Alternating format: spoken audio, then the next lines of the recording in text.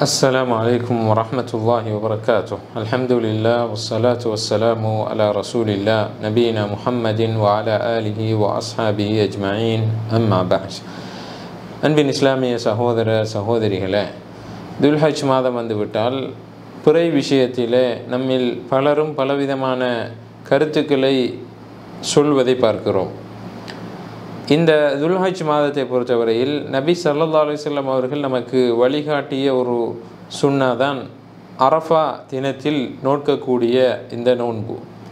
இந்த அரஃபா நாளில் நோட்கிற இந்த நோன்பை பொறுத்தவரையில் முஸ்லீமிலே பதிவு செய்யப்பட்டிருக்கிற அந்த செய்தியில் நபி அவர்கள் சொல்கிறார்கள் அந்த அரஃபாவுடைய நாளில் நோட்கிற நோன்பு கடந்த ஒரு வருடத்திற்கும் பிந்திய மற்றுமொரு வருடத்திற்குமான பாவத்திற்கு பரிகாரமாக அமைந்து விடுகிறது என்று அல்லாஹுடைய தூதர் சல்லா அலுவலம் அவர்கள் சொல்கிறார்கள். அன்புக்குரியவர்களே இந்த அரஃபாவுடைய தினத்தை நாம் எப்படி தீர்மானிப்பது? ஹாஜிகள் அரஃபா மைதானத்தில் ஒன்று சேருகிற அந்த நாளில்தான் இந்த அரஃபாவுடைய நோன்பை நோக்க வேண்டுமா? அல்லது துல்ஹஜ் ஒன்பதாம் நாள் நாம் அந்த நோன்பை நோக்க வேண்டுமா என்பதில் அறிஞர்களுக்கு மத்தியிலே பலவிதமான கருத்துக்கள் நிலவுவதை பார்க்கிறோம்.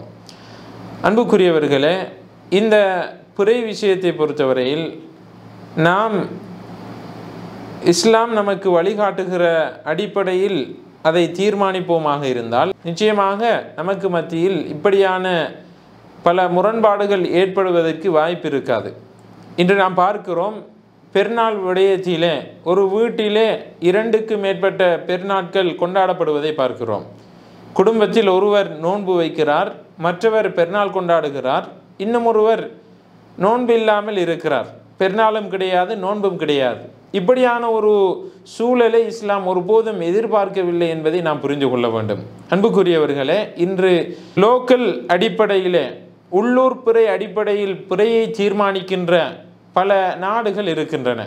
அதிகமான நாடுகளில் உள்ளூர் பிறையை வைத்து தான் இன்று பிறை தீர்மானிக்கிற ஒரு நிலைமை ஒரு சிச்சுவேஷன் நிலவுவதை நாம் பார்க்கிறோம். அதில் சவுதி அரேபியா உட்பட எகிப்த் போன்ற நாடுகளிலெல்லாம் உள்ளூர் பிறையை வைத்துத்தான் பிறையை தீர்மானிக்கிற வளமை இருந்து வருகிறது. இந்த இரண்டு நாடுகளிலும் இருக்கின்ற அறிஞர்கள் அந்த மக்களுக்கு மார்க்க விளக்கங்களை சொல்கிற போது ஒவ்வொரு நாட்டில் இருக்கக்கூடிய மக்களும் அந்தந்த நாட்டில் பிறை குழு அல்லது பிறையை தீர்மானிப்பதற்கென்ற ஒரு அமைப்பு இருக்குமாக இருந்தால் அவர்கள் தீர்மானிக்கிற பிறை அடிப்படையில் தான் நோன்பு எடுக்க வேண்டும் நோன்பை விட வேண்டும் பெருநாள் கொண்டாட வேண்டும். அதே போன்று அரஃபாவுடைய அந்த நாளை தீர்மானிக்க வேண்டும் அரஃபா நோன்பை நோக்க வேண்டும் என்கிற கருத்தை சொல்கிறார்கள். இந்த சவுதி அரேபியா எஜிப்து போன்ற நாடுகளில் வாழக்கூடிய மக்கள் அல்லது அந்த நாட்டில் இருக்கின்ற அறிஞர்களுக்கு மத்தியில் இன்டர்நேஷனல் கருத்தை உடைய உலமாக்களும் இருக்கிறார்கள். ஆனால் அந்த நாட்டில் எப்படியான கருத்து இருந்தாலும் அந்த நாடு எப்படி லோக்கல் அடிப்படையில் பிறையை தீர்மானிக்கிறதோ அந்த தீர்மானத்துக்கு அனைத்து கருத்தை கொண்ட உலமாக்களும் கட்டுப்படுகிறார்கள். அனைத்து மக்களும் ஒருமித்து ஒரே நேரத்தில் பெருநாள் எடுக்கிறார்கள் என்றால் இதைத்தான் இஸ்லாம் எதிர்பார்க்கிறது என்பதை நாம் புரிந்து கொள்ள வேண்டும். அந்த நாட்டில் இருக்கக்கூடிய அறிஞர்கள் கூட இன்டர்நேஷனல் அடிப்படையில் பிறையை ஏற்றுக்கொள்கிற அந்த மக்களுக்கு சொல்லக்கூடிய வழிகாட்டல் என்ன? இன்டர்நேஷனல் அடிப்படையிலே பிறையை தீர்மானிக்கிற நிலைப்பாட்டில் உள்ளவர்கள் உதாரணமாக உலகில் எங்கேயாவது ஷவ்வாலுடைய தலைப்பிறை தென்பட்டு விட்டால் அவர்கள் மறுநாள் நோன்பு வைக்க மாட்டார்கள். மறுநாள் ஷவ்வால் பெருநாள் தினம் எனவே லோக்கல் அடிப்படையில் பிறையை தீர்மானிக்கிற நாடுகளிலே அன்றைய தினம் பிறை தென்படவில்லை என்றால் அடுத்த நாள் முப்பதாக ரமதானுடைய மாதத்தை பூர்த்தி செய்வார்கள்.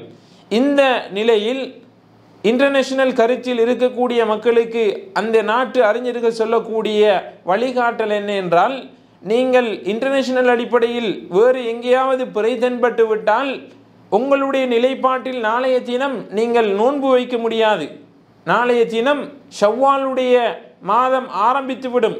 அதற்காக வேண்டி நாளைய தினம் மக்கள் எல்லாம் உள்ளூரிலே நோன்பு வைத்தவர்களாக இருக்கிறார்கள். அந்த நேரத்தில் நீங்கள் தக்பீர் சொல்லிக்கொண்டு பெருநாள் திடலுக்காக பெருநாள் தொழுகைக்காக நீங்கள் வருவதென்பது மக்களை குழப்பத்தில் ஆழ்த்துகிற ஒரு விடயம் என்ற இந்த வழிகாட்டலை அந்த மக்களுக்கு சொல்கிறார்கள். நீங்கள் இன்டர்நேஷனல் அடிப்படையில் உங்களுடைய தீர்மானத்தை எடுத்தாலும் உள்ளூரில் இருக்கக்கூடிய மக்கள் பெரும்பான்மையாக அவர்கள் லோக்கல் பிறை அடிப்படையில் நோன்பு வைக்கிறார்கள் பெருநாள் எடுக்கிறார்கள் என்றால் அந்த அடிப்படையில் தான் நீங்கள் பெருநாள் தினத்தை கொண்டாட வேண்டும். பெருநாள் தினத்தில் நீங்களாக இன்டர்நேஷனல் அடிப்படையிலே நீங்கள் நாளை வேறு சில நாடுகளில் பெருநாள் கொண்டாடப்படுகிறது என்பதற்காக உள்ளூரிலே பெரும்பான்மையான மக்கள் லோக்கல் அடிப்படையில் பெருநாள் எடுக்கிறார்கள். அப்படியான மக்களுக்கு நாளைய தினம் நோன்பாக இருக்கிறது என்றால் அன்றைய நாளில் நீங்கள் தக்பீர் சொல்லிக்கொண்டு பெருநாள் கொண்டாடுவதற்காக வெளியிலே வரக்கூடாது. அப்படி வருவதாக இருந்தால் அது மக்களை குழப்பத்தில் ஆழ்த்துகிற ஒரு விடயம் என்று மக்களுக்கு அறிவுரை சொல்வதை பார்க்கிறோம். அல்லாஹு தாலா அல் குர்வானில் சொல்கிறான் வல் ஃபித்னத்து அஷத்து மின் அல் கத்ல். குழப்பத்தை உண்டு பண்ணுவது கொலை செய்வதை விட மிக ஆபத்தானது கடுமையானது என்று அல்லாஹு தாலா அல் குர்ஆனில் சொல்கிறான். எனவே கண்ணியமானவர்களே நாம் இந்த பிறை விஷயத்தை அக்கீதாவுடைய விடயத்தை போன்று பார்க்கக்கூடாது. இத்திஹாத் அடிப்படையில் நாம் அணுக வேண்டிய ஒரு அணுகுமுறையாக இருக்கிறது. பிறை என்பது இஜிதியாத் அடிப்படையில் அணுக வேண்டிய ஒரு முறை. அதில் சரியான கருத்தை அடையக்கூடியவர்களுக்கு இரண்டு கரு இரண்டு கூலிகள் இருக்கின்றன. தவறாக அவர்களுடைய இஜிதிஹாதில் அவர்கள் தவறு விடுவார்களாக இருந்தால் அவர்களுக்கு ஒரு கூலி இருக்கிறது.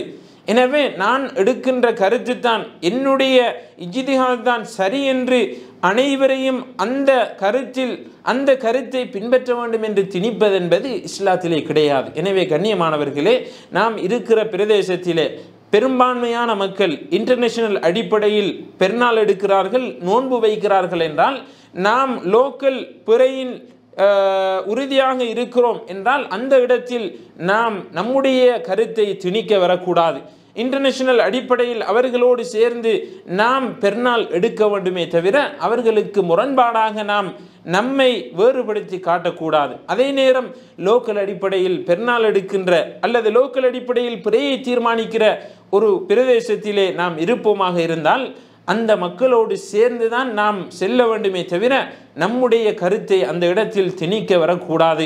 திணிப்பதன் மூலமாக பல ஃபித்னாக்களை பல குழப்பங்களை மக்கள் மத்தியில் உண்டு பண்ணிய குற்றவாளியாக நாம் மாறிவிடுவோம். எனவே இந்த பிறை விடயம் என்பது இஜிதியாதுடைய விடயம்.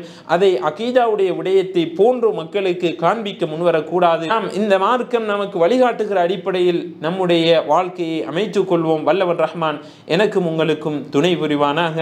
وآخر دعوانا أن الحمد لله رب العالمين.